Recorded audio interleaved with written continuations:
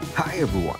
In this video, we will show exactly how to reply with Reels on Instagram. First of all, open Instagram. Click on the Reels icon. Open the comments section. See any comment, then click on Reply. Now you can reply to that comment. Then slide up your reply. Start pressing the record button of the reel. Once you stop recording, search for any music. Then click Next. After that, click on Share to share the reel.